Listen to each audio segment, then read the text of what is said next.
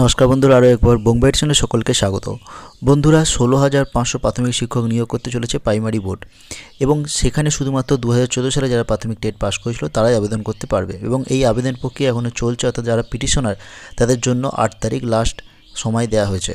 এরপর শুরু হবে ইন্টারভিউ প্রসেস অর্থাৎ আগে নোটিশ অনুযায়ী আমরা সকলেই জানি যে দশ থেকে সতেরো তারিখের মধ্যে কিন্তু ইন্টারভিউ প্রসেস হবে এবং বিভিন্ন ডিস্ট্রিক্টে কিন্তু ইন্টারভিউ প্রসেস চলবে এই সময়ের মধ্যেই। তো ইন্টারভিউ ভেন্যু কোথায় হবে এবং কবে থেকে এস এম এস পাবো সেই সম্বন্ধে অনেকেরই কিন্তু প্রশ্ন থাকছে। তো এরকমই আমরা একটি ইন্টারনাল নোটিশ পেয়ে গিয়েছি এবং সেই নোটিশে দেখব কি বলা হয়েছে।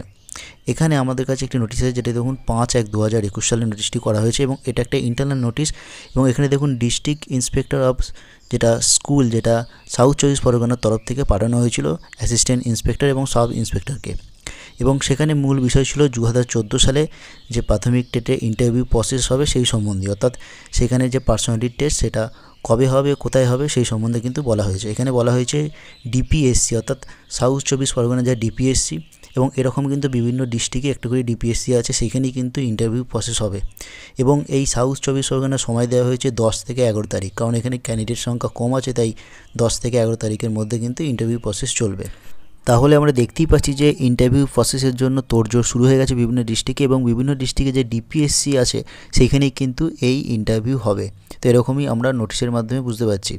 এবং খুব দ্রুতই কিন্তু আপনাদের মোবাইলে কিন্তু এস চলে আসবে এবং সেখানে ডেট এবং ভেন্যু কিন্তু মেনশন করা থাকবে।